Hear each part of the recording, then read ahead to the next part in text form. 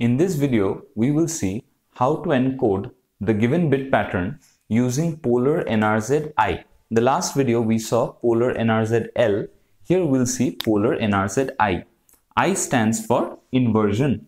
Now the rule is if you see a 1, you need to invert your signal pattern. And that means, okay, what do you mean by inverting your signal pattern?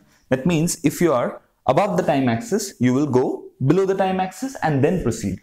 And if you see a 0, then there will be no inversion. That means if you are here above the time axis, you will remain above the time axis. If you are below the time axis, you will remain below the time axis.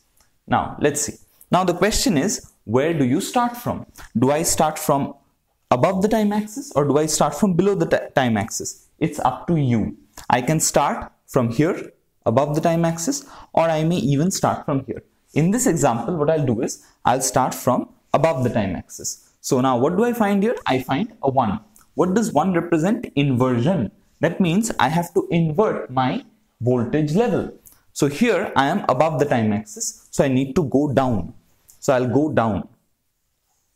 I'll go down. I hope you understood this. See, a 1 represents inversion. Inversion in what? Inversion in your voltage level. So if you're above the time axis, you'll have to go below the time axis. So I started from above the time axis. I see a 1, I need to invert. That means I need to go below the time axis. So that's what I do. I go below the time axis and I proceed.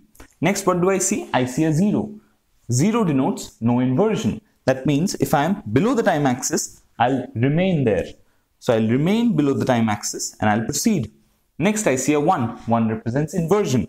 So I go back up and I proceed. 1 represents inversion. I come down and I proceed. 0 represents no inversion. I stay down and proceed.